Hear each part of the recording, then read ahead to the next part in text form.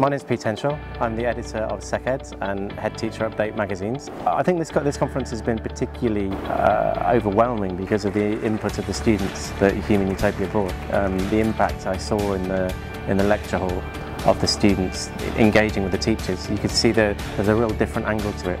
And I think it's the first time at, at this event that we've, we've brought that in. We've had students here and, and, and, and I think it's something we will look to do again.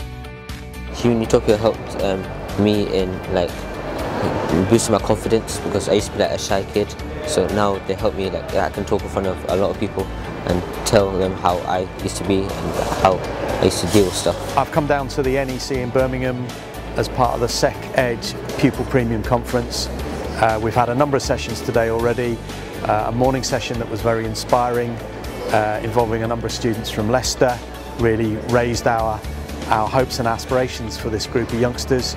And then we've had some more practical sessions since on strategies and techniques to take back into school. We've just done a talk with loads of um, head teachers.